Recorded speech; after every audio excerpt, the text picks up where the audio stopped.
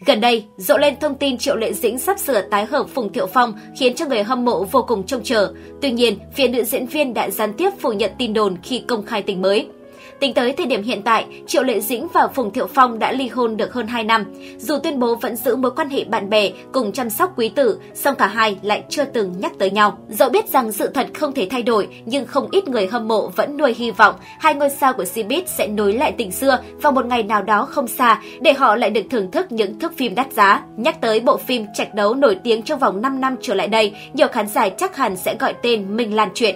Bộ phim kể về câu chuyện cuộc đời của Thịnh Minh Lan, Triệu Lệ Dĩnh, một cô gái xinh đẹp thông minh nhưng lại không được người thân yêu thương. Đến khi trưởng thành, Minh Lan gặp được Cố Đình Diệp, Phùng Thiệu Phong, hai người từ oan gia rồi dần nảy sinh tình cảm, cùng nhau đối diện với những gian nan thử thách. Cuối cùng có một cái kết viên mãn, nhận về không ít tình cảm từ khán giả. Minh Lan chuyện khi lên sóng đã gặt hái được những thành tích vang dội, điều bộ ba Triệu Lệ Dĩnh, Phùng Thiệu Phong và Chu Nhất Long bước sang một trang mới trong sự nghiệp. Cơn sốt của phim cũng chưa dứt thì mới đây trên mạng xã hội bất ngờ lan truyền tin đồn sắp tới sẽ chính thức sản xuất phần 2. Và thú vị hơn nữa chính là việc dàn diễn viên chính vẫn được giữ nguyên.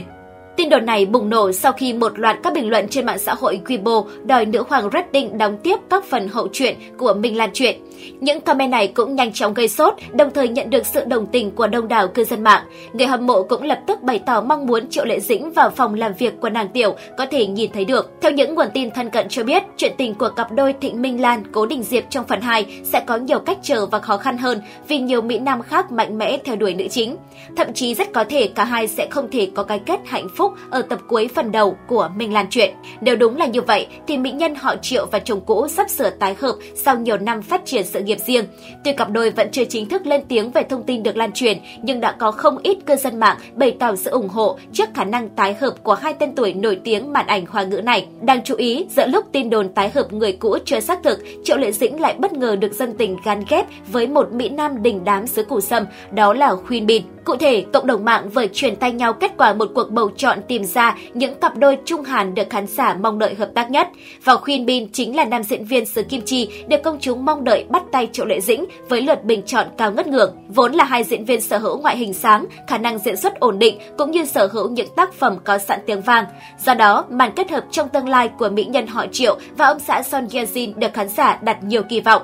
Tuy nhiên, nhiều cư dân mạng cho rằng điều này rất khó để xảy ra vì sau khi lập gia đình, Khuyên Bin đã hạn chế nhận dự án bên ngoài mà chỉ tập trung ghi hình những tác phẩm ở trong nước. Về phần Triệu Lệ Dĩnh, cô được đánh giá là một trong những tiểu hoa dẫn đầu về cả tài nguyên lẫn thực tích, thường xuyên thu hút được sự chú ý của khán giả với nhan sắc và thần thái chuẩn nữ thần mỗi lần xuất hiện trước công chúng.